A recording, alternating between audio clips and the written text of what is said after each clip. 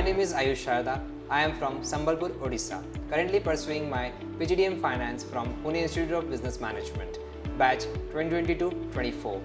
I am very much excited to announce that I have been placed in one of the largest custodian bank that is Bank of New York Mellon as an operation analyst. I really thank my college PIBM for its tremendous training and unique teaching pedagogy on equity research, financial statement analysis, financial modeling and many more. During this journey, my college offers a dual internship program which helped me to know and face various challenges in corporate world. I have been gone through various study-based trainings which helped me to develop my interpersonal skills and technical skills as per industry need.